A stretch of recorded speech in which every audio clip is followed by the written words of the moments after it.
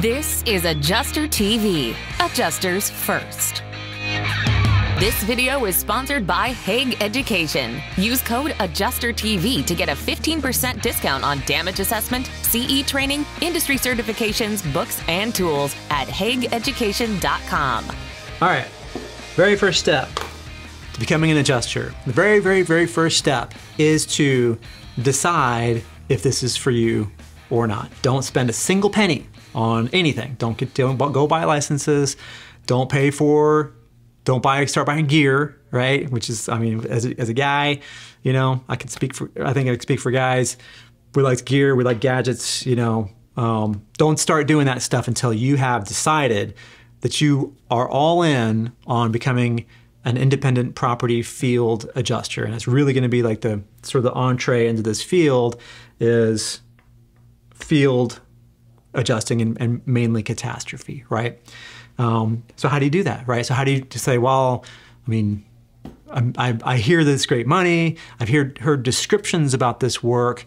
Um, how can I truly make that decision, make that an informed decision, make a decision that satisfies myself, right? And then maybe that satisfies other people that are that have questions about it, like perhaps your spouse, right, or people, other people in your family who are like, well, what? Tell, do you, are you really sure you want to do this work? You know, what have you, what, where did you get your information about it? Well, the internet. Okay, well, that doesn't sound very reliable, right? My best advice to you, and I think I think the first step that anybody should do if they're considering becoming an independent field property adjuster is to do a job shadow, right? This is commonly called a ride along, um, but it's whatever you want to call it. I think the thing that you can't call it is training, right? Because it's just briefly when you go right along with, with an adjuster who's working, those adjusters are getting paid by the claim, right? So they have an incentive to be efficient and, and, get as much work done during the day and, and in the evening as, as possible.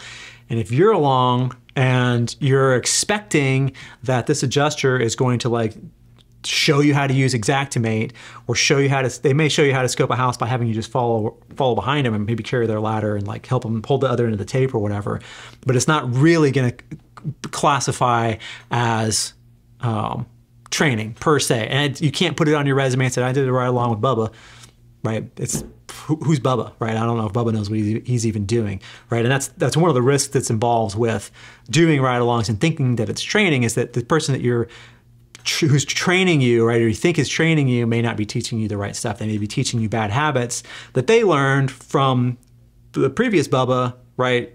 And they never were calibrated on it or never told that they were doing the wrong thing, which is common in this industry. And I place a lot of the blame for the sort of the, the training gap and the variable training quality that we have in this industry and the people that come into the industry who are working in the industry on the firms and carriers are not doing more to, to develop adjusters. And I think that there are a lot of them are doing good work on this, but it's still a problem, right? Um, people need to be able to know that they've messed up and how, how they should fix it, and how they uh, what the work is supposed to look like. But getting back to the job shadow, I call it a job shadow because I think that's really what it is. Um, do not step one. Do not go on social media and say, "Hey, I'm uh, you know, I'm, I'm, looking to become an adjuster and I, I want to do a ride along with anybody in the Atlanta, Georgia area or anybody in the Spearfish, South Dakota area or anybody in the wherever area, right? Maybe it's December or January and nobody's really working, right?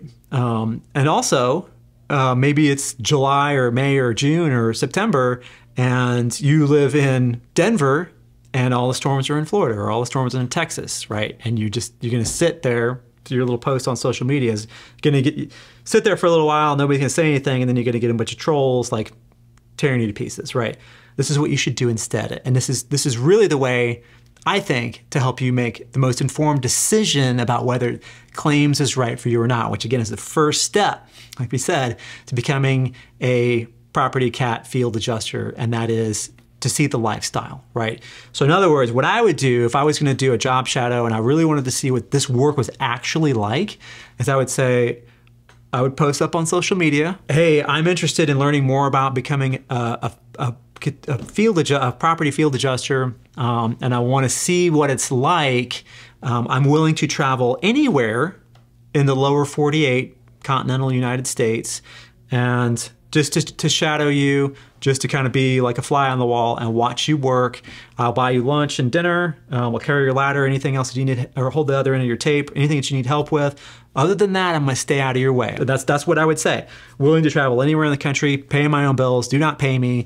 I'll pay you in the form of food, right? Pay, maybe buy a, a, gas tank, a tank of gas or two or whatever, because your objective is to go see the lifestyle. And you're gonna stay in your own hotel room, right? You're not gonna sleep on anybody's floor, putting yourself, you know, as on to somebody else to like look after you. Because the lifestyle is you go and you get your own hotel room. It, it is you get in your car with your bag of stuff, appropriate clothing, no jeans, right? No tennis shoes, khaki pants, golf shirt, and you and you drive halfway across the country, right? And you and you pay for fuel, and you get hotels, you get a Motel Six or whatever.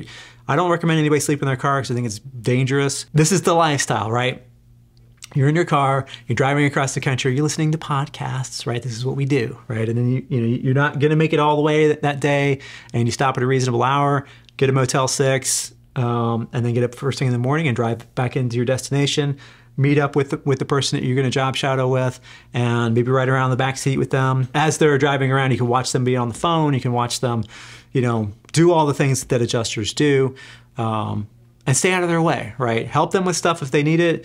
Buy them lunch, maybe you know bring a cooler or whatever, and uh, but you, you're not going to be there to learn. You're not to learn how to do the, to the, actual work itself, to be trained on the work. So that's that's my advice for you. Is the very very first step is to be aggressive about it, right? Um, say, listen, I'll you know because th there are thousands of adjusters working definitely through the summer, but even over the wintertime, um, put put the, the the bat signal out there and say, I want to.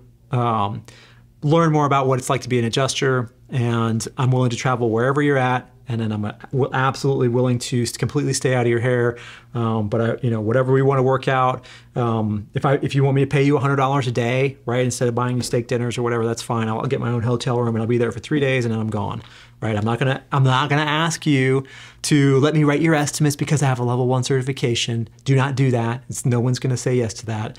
Um, I'm not gonna ask you to that I'll go around and scope the houses for you to to help you or whatever. I'm only there to observe and just to say, yep, this is pretty cool. I like this. I, you know, I, I like the hours. It's the the 16 hour day, right? We spent the whole day out in the field, and then we spent the whole next day out in the field, right? And staying in a hotel so on and so forth. I'm all in, right? Because that's that's the job, right? Or you know what? I don't think I think I can make six figures, or I can make really good money um, doing something that's not this big of a pain in the rear end. Maybe you decide that, right?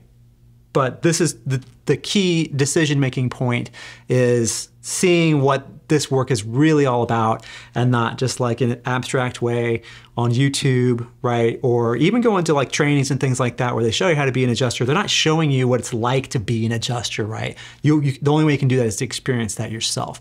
I could talk about it all day long, um, but the truth of the matter is, is that you really need to get out there and experience it for yourself, and that is in the form of a job shadow. And I think that that is before you spend any other money you need to spend some time and a little bit of your own money driving someplace to, to shadow an adjuster for two to three days, and then I'm and then I'm that's that should be more than enough to help you make a decision about it. Take that person out to dinner at night and ask them questions then, right? Over nice steak dinner or whatever it is that they want to eat. Pizza. I mean, hey, I love pizza. Um, and then that way, you make an informed decision about whether or not you're all in on this or it's not for you. And that's what I think is really the first step in becoming an adjuster. Did you know that this is just a clip of a much longer video? To watch the whole show and for a chance to have your questions answered by me, become a member at adjustertvplus.com.